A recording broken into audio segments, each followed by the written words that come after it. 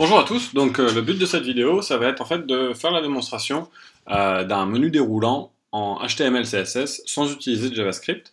Euh, donc le but en fait, ça va être en partant d'un fichier de départ qui va être le fichier minimum HTML, donc un HTML avec un en-tête, le titre et pour l'instant le corps de la page qui est vide.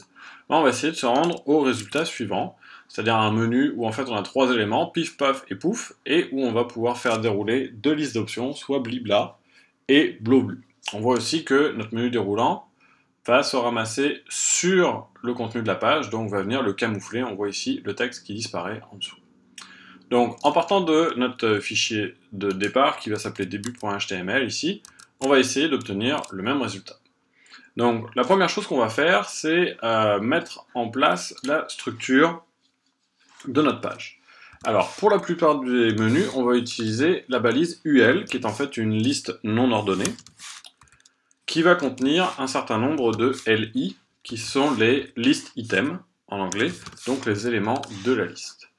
Alors ici, on a déclaré qu'on allait vouloir en avoir trois, qui vont être plif, et ensuite plaf et plouf. Donc on va mettre en place ceci, et regardez plouf, et on va aller recharger notre page ici, pour regarder ce qui se passe. Donc on voit ici qu'on a créé une euh, une liste avec trois éléments. Donc là, j'ai dû mettre des... Voilà, plif, plaf plouf. Et donc, on voit bien une liste non ordonnée de trois éléments. Donc, non ordonnée, ça veut dire qu'ici, on a un point au lieu d'avoir un chiffre. Alors maintenant, dans nos euh, menus, ici, eh ben, on va avoir deux sous-menus. Alors, ça veut dire quoi avoir un sous-menu? Ça veut dire qu'à l'intérieur de notre LI, on va avoir un autre UL. Autrement dit, euh, celui qui contenait ici bli et bla.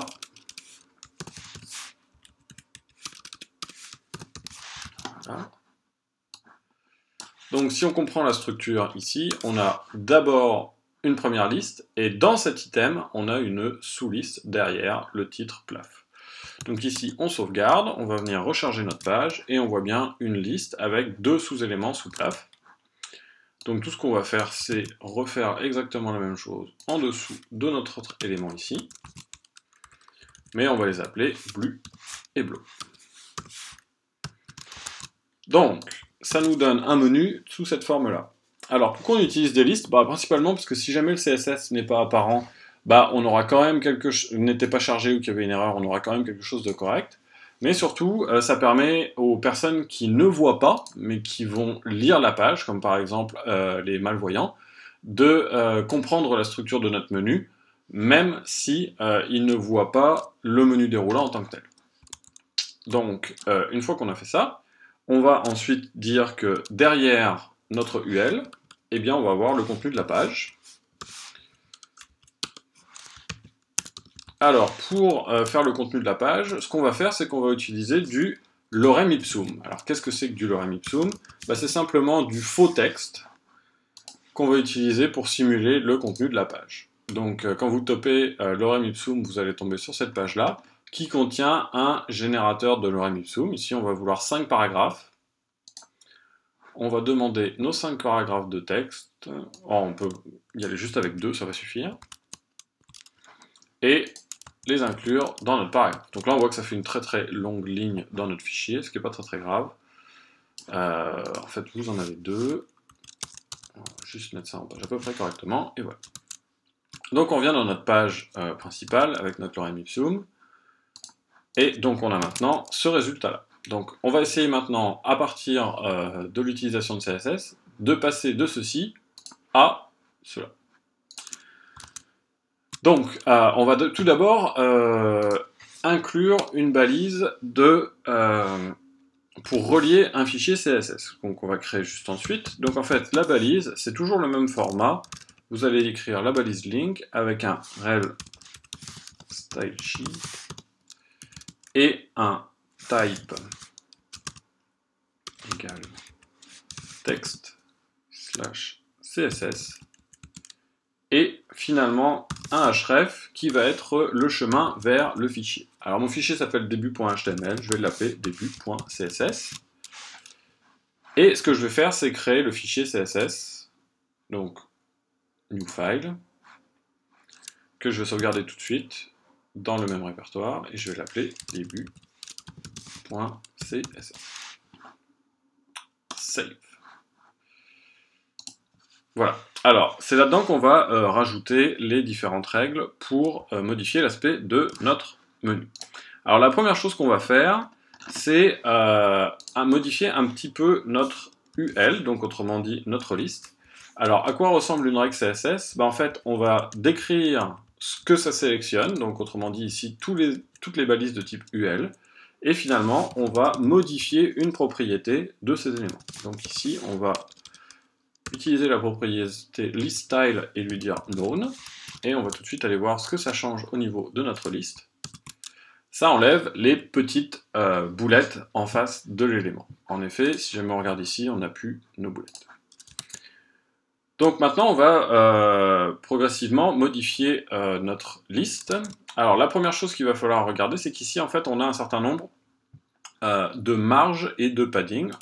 Donc si vous inspectez l'élément ici, on va se rendre compte par exemple que dans le UL, euh, l'élément qui est en vert, euh, c'est du padding gauche pour décaler la liste vers la droite, et les éléments qui sont en orange, euh, donc ce qu'on voyait ici et ici, ce sont des marges.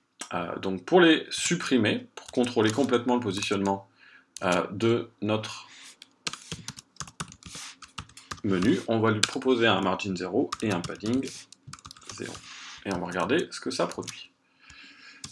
Donc on voit que ça met tous nos éléments à plat, ça supprime les décalages, euh, et maintenant on va recontrôler de manière euh, différente les éléments de notre menu. Alors la première chose qu'on va faire, c'est qu'en fait dans notre menu, il va falloir qu'on identifie ce qui est de niveau 1 et de niveau 2. Donc ici, euh, on a un LI, donc un list item, qui est en fait dans le premier niveau de notre menu, et c'est le UL qui va constituer le deuxième menu. Donc pour euh, concrétiser ça, ce qu'on va faire, c'est qu'on va leur donner des classes. Alors les classes, euh, ici en CSS, c'est des éléments qui vont permettre de ne sélectionner que certains, certaines balises d'un type. Donc pas tous les LI, mais que les LI de la classe qu'on va spécifier. Donc ici, on va demander à ce que ce LI-là soit considéré comme un en-tête de menu 1. C'est moi qui choisis les, titres, euh, les, noms des classes, mais là je vais décider que ça s'appelle L1. Euh, donc ces deux-là, et je vais décider que le UL qui est juste en dessous est de classe L2. Pour pouvoir les désigner. Alors ça, qu'est-ce que ça va me permettre de faire? Ben, On va regarder ça euh, tout de suite. Oups, pardon, il faut aussi que je mette un L1 ici. Et celui-là est de classe L2. Voilà. Donc, en fait, j'ai regroupé plif plaf plouf dans une classe et euh, les deux sous-menus blibla et blublo dans la deuxième classe L2. Donc maintenant que je fais ça, ce que je vais faire, c'est que je vais écrire une règle CSS spécifique à cette classe .l1. Donc qui ne va sélectionner que les éléments de cette classe-là. Et ce que je vais demander, c'est un float de .left. Alors ça, on va tout de suite regarder à quoi ça correspond. Ça va faire flotter pliche plaf plouf qui vont se mettre l'un après euh, les uns après les autres dans mon menu et blibla et blublo vont se retrouver en dessous de plaf et en dessous de plouf. Alors, on est encore loin de ceci. On va voir euh, la première chose, comment s'assurer que le texte, ici, se retrouve en dessous et non pas à droite? Alors, ce qu'on va faire, c'est qu'en fait, on va demander au paragraphe de ne pas tenir compte des floats et donc la paragraphe c'est euh, notre balise P. Et on va lui demander de faire un clear left. Euh, ce qui permet en fait de faire qu'il s'aligne en dessous du plus bas des derniers des floats. Donc, par rapport à mon plouf, il va aller se mettre en dessous. Donc on commence à avoir quelque chose qui ressemble à ce positionnement-là déroulé, mais pour l'instant en moins beau. Alors, première chose qu'on va faire, c'est aller donner une euh, bordure, histoire de bien voir la délimitation de notre élément. Alors, pour une bordure, on donne trois éléments, là, l'épaisseur, là, le style, donc on va dire que c'est un trait plein, solide en anglais, et on va mettre une couleur black. Donc en revenant ici, on va avoir nos trois éléments qui sont entourés de noir. Ensuite, je vais leur donner une largeur de 120 pixels pour que tous mes éléments aient la même largeur. Et finalement, je vais vouloir inclure un espace entre les deux euh, éléments ici. Euh, pour faire ça, ce que je vais faire, c'est que je vais mettre une marge à droite de chacun des éléments de 10 pixels. Si on revient ici, ça vient créer l'espace entre les différents éléments ici. Bien, donc à partir de ce moment-là, on a quelque chose euh, d'intéressant en termes de ces trois éléments, ces trois LI de notre première euh, liste principale. Donc cet élément-là, cet élément-là au complet et cet élément-là au complet. Maintenant, on va vouloir faire en sorte que euh, Blublo et Blibla se découplent de euh, ce qui les encadre. Donc on va aller chercher ces deux éléments-là, qui sont tous les deux de classe L2. Et ce qu'on va faire, c'est que euh, on va leur donner une position absolue. Alors qu'est-ce que ça veut dire qu'un positionnement absolu? Ça veut dire que euh, l'élément ne va plus réserver de place dans la page. Donc ici, quand plaf écrit bli et bla, il réserve de la page, et donc du coup, ça pousse les autres éléments vers le bas. Si on se met en absolu, il ne réserve plus de place. Donc il prend juste la place pour plaf, et on voit bli bla qui flotte au-dessus euh, du reste du texte. Donc c'est ce que fait le positionnement absolu ici. Maintenant, euh, il va falloir qu'on mette un petit peu plus de euh, style autour de ça. Donc première chose qu'on va faire, c'est mettre une bordure pour être capable de voir la limite de nos éléments. Donc on va mettre une bordure de, de 10 pixels solide, et cette fois-ci on va la mettre on va mettre euh, rose en attendant pour regarder euh, ce qui se passe. Alors là, on voit que la bordure encadre toute la liste, c'est-à-dire les deux éléments de la liste. Donc en fait, cette bordure-là, on va la mettre dans une autre règle qui n'encadre pas toute la liste, mais les lignes contenues dans la liste. Donc ça, ça, ça ne va concerner que les éléments de ligne LI contenus dans un point L2. Donc ça, petit rappel, euh, une règle CSS, ça se lit toujours de la droite vers la gauche, c'est-à-dire que ce que ça va concerner comme élément, c'est l'élément le plus à droite, et ce que nous donnent les éléments à gauche, c'est étant contenu dans un point L2. Donc on enlève la règle ici, et on regarde ce que ça donne. Donc là, on voit nos deux éléments euh, entourés de rose. Alors on va mettre une couleur un petit peu plus jolie, un red. Et pour qu'on ne voit pas ce qu'il y a en dessous, on va leur mettre un background. Autrement dit, une couleur de fond euh, qui va être blanche. Donc là, on commence à voir nos éléments. Ils sont positionnés de manière un petit peu bizarre, mais ça commence à ressembler à notre menu euh, déroulant. Alors maintenant, on va juste aller regarder le positionnement ici. Le coin supérieur gauche du LI est en fait à la suite de la fin du contenu de celle d'avant. Donc on aimerait la décaler à gauche de 10 pixels et un petit peu vers le bas, sans doute aussi de 10 pixels.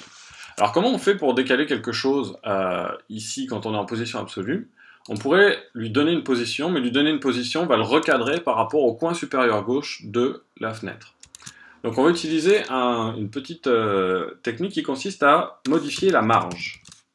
Donc première chose qu'on va faire, c'est donner une marge top de 10 pixels.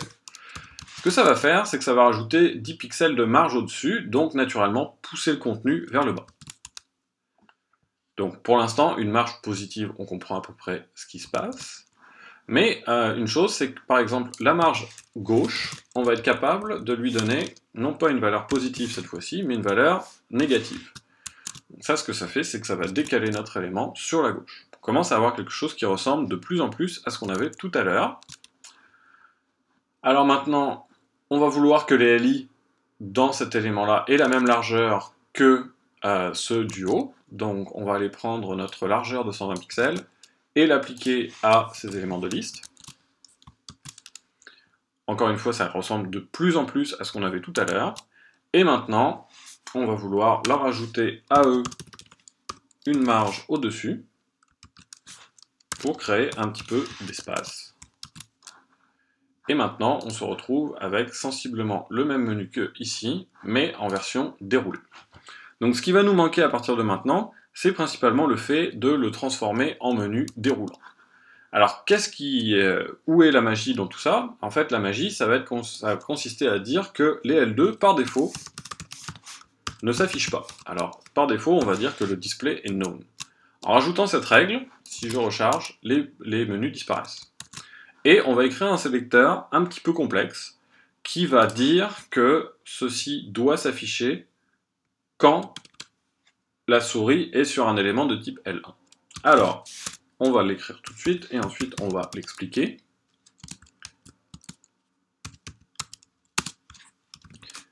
Donc, qu'est-ce que concerne ce sélecteur? Concerne les éléments de classe L2. Ce signe-là, ça veut dire qu'il est immédiatement contenu à l'intérieur d'eux. Donc le premier, le parent direct, c'est un L1. Et le 2.over veut dire que la souris est actuellement passée dessus. Donc, tous les éléments de type L2 qui sont le fils immédiat d'un L1 sur lequel j'ai passé la souris. Une fois qu'on a dit ça, ce qu'on va tout simplement lui dire, c'est de faire un display en mode bloc, qui est le mode normal euh, de notre UL. Une fois qu'on a fait ça, on voit ici qu'en étant sur notre élément, il ne se passe rien. Mais si on passe sur celui-ci, donc il devient en over, donc notre élément de type L1 est en over, et donc l'élément de type L2 qui est en dessous devient affiché. Donc c'est ce qui fait euh, la magie du menu déroulant en CSS, c'est euh, cette fonction-là. Une fois qu'on est rendu là, on a quelque chose de fonctionnel euh, avec cette règle-là. Alors, d'une manière générale, qu'est-ce qu'on fait euh, quand on veut éventuellement modifier? Bah, Ce qu'on va faire, c'est tout simplement euh, désactiver, euh, laisser cette règle-là activée, mais enlever le display known si jamais vous voulez, par exemple, modifier l'aspect graphique. Ça nous redonne le menu déroulé. Et la seule chose qui réactive le fait que le menu est caché par défaut, mais seulement affiché s'il ne l'est pas, c'est de rajouter notre display known. Donc voilà, ça conclut euh, la présentation du menu déroulant en HTML, euh, CSS pur.